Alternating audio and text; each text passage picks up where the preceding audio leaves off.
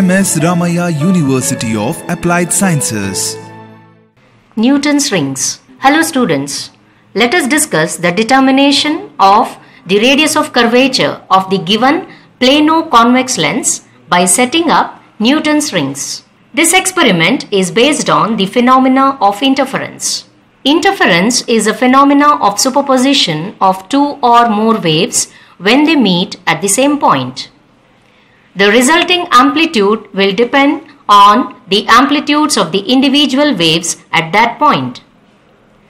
Two waves can interfere constructively or destructively depending upon the phase or path difference between them as shown in figure.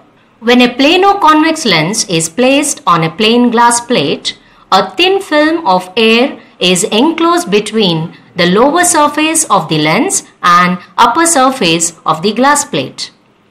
Interference fringes are produced due to the superposition between the light reflected at the lower surface of the lens and the upper surface of the plate. With monochromatic light, bright and dark circular fringes called Newton's rings are formed as shown in figure. Bright rings correspond to regions of constructive interference and dark rings correspond to regions of destructive interference. Thickness of the air film is very small at the point of contact of the lens and glass plate and increases from the center outwards. The path difference between the rays reflected from the two surfaces is 2 mu t where t is the thickness of the air film and mu is the refractive index of the medium.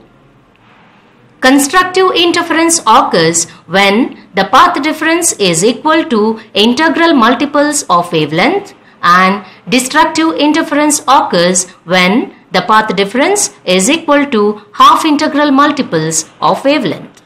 The diameter dm of the mth dark ring is related to the radius of curvature r of the plano-convex lens by dm square is equal to 4m lambda r. Diameters dm and dn of the mth and nth dark rings respectively can be measured using a travelling microscope. Radius of curvature of the given plano-convex lens can be determined using the formula as shown.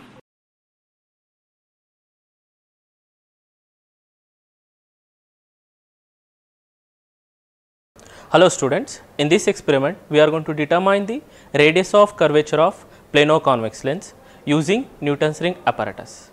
The required apparatus 45 degree reflector, Newton's ring apparatus which consists of plano-convex lens and a plain glass, travelling microscope, sodium vapor lamp, magnifying lens and a steady lamp. Let us start the experiment. Let us take the Newton's ring apparatus as I mentioned it consists of a plano-convex lens and a plain glass. To differentiate this we can see the one which is thinner is plano-convex, the one which is slightly thicker is plain glass. Let us mount the plano-convex on the top of the plain glass so that the convex part or the curved part of the lens should touch the plane surface. To check whether the mounting is proper, if the mounting is proper, we can see air gap between two. If the mounting is not proper, then there is no air gap. Now, let us keep this setup below the reflector and bring the reflector exactly normal to the source this reflector is required to get the normal incident light from the source to this glass plate and that can be done by tilting this reflector to about an angle of 45 degree. So, let us take the travelling microscope, put it exactly like this. So, make sure the microscope should be exactly above the Newton's ring apparatus. Now we can see the microscope is exactly on the top of the Newton's ring apparatus. See through the eyepiece and tilt the reflector towards you until the field of view is completely bright. If the field of view is completely bright that indicates the reflector is exactly at 45 degree.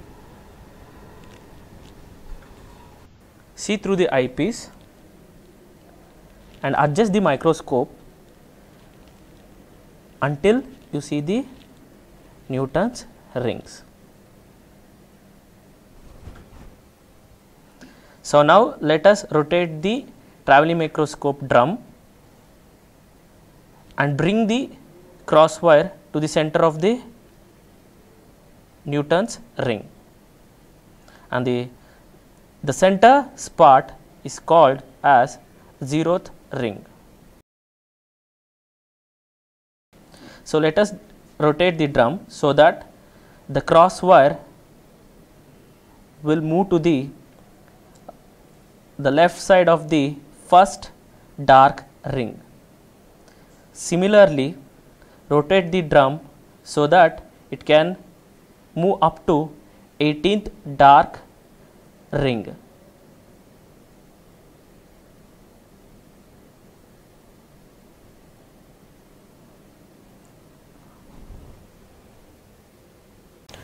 Note down main scale and vernier scale reading. Again look the eyepiece, rotate the drum so that the cross wire is moving towards right and focus for 16th dark ring and note down the main scale and vernier scale reading. Similarly, repeat the experiment for 14, 12, 10, 8 rings of the left side and similarly for 8, 10, 12, 14, 16, 18th dark rings of the right side. This completes the experiment.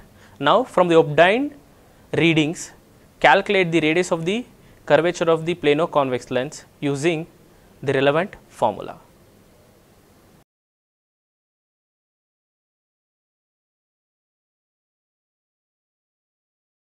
At MSR UAS, we spark your imagination unlike any other.